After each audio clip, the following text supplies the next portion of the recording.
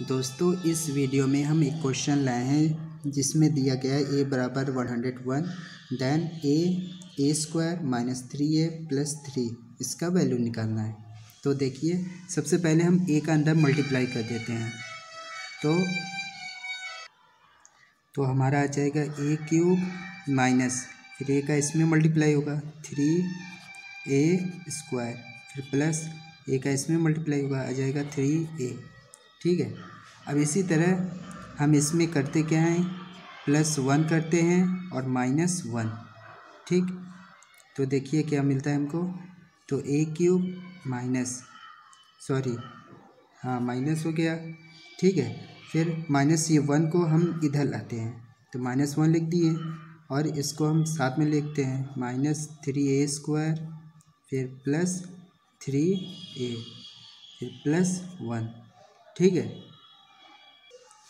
अब आगे हम क्या करते हैं? A cube minus one minus इसमें से हम थ्री ए कॉमन ले लेते हैं। तो मिलता क्या है हमें ए यहाँ पर माइनस हो जाएगा। माइनस यहाँ पर वन हो जाएगा। और यहाँ पर प्लस वन हमारा एक फार्मूला है कि क्या है? कि माइन ए माइनस बी का होल क्यूब क्या होता है?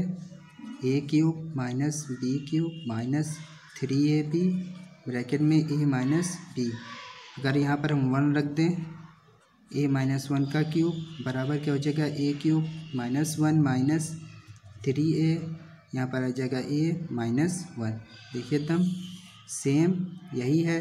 तो इसके जगह पर हम ये लिख सकते हैं। क्या लिखते हैं? ए माइनस वन का होल क्यूब।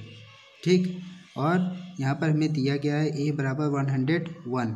तो यहाँ पर हम लिखते हैं वन हंड्रेड वन और सॉरी ये प्लस वन भी है प्लस वन भी है। One hundred one minus one का होल क्यूब प्लस वन ठीक? फिर आगे वन माइनस होगा तो हो जाएगा हंड्रेड का क्यूब प्लस वन फिर हंड्रेड का क्यूब कितना होता है? हो जाएगा फोर सिक्स सिक्स ज़ीरो हो जाएगा और प्लस वन यानी कि हमें क्या मिलेगा? हमें मिल जाएगा one one two three four five फिर वन हो जाएगा। ये हमारा राइट आंसर है।